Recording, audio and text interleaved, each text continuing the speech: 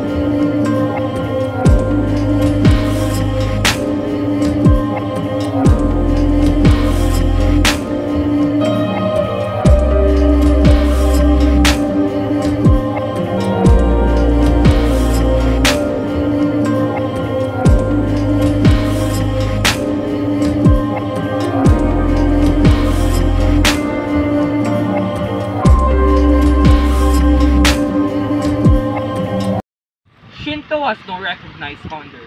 Although its exact beginnings are not specifically known, many say its foundation started as early as the 3rd century BCE. Shinto legends tell that the emperors of Japan descended in an unbroken line from the first emperor, Jimmu Tenno, Amaterasu Omikami's great-grandson. The native Japanese claim to be descended from the kami were present at the founding of Japan. In their doctrines, they believe in ancient gods, spirits, demons. They believe that life has been given by the kami and that human nature is sacred. They also believe that suffering is not a form of punishment from human behavior, but is an element of human experience. Shintoism value the worship of gods because these spirits are kami and everything. In order for the spirits not to bother with them, they offer prayers and ask protection. In fact, this is their core teaching to worship the spirits of their ancestors and the forces of nature to achieve harmony in all dimensions. Shintoism didn't only contribute positively to their ways of living, but also contributed a lot to Japan's environment.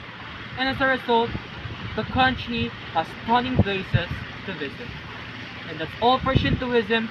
Thank you for listening.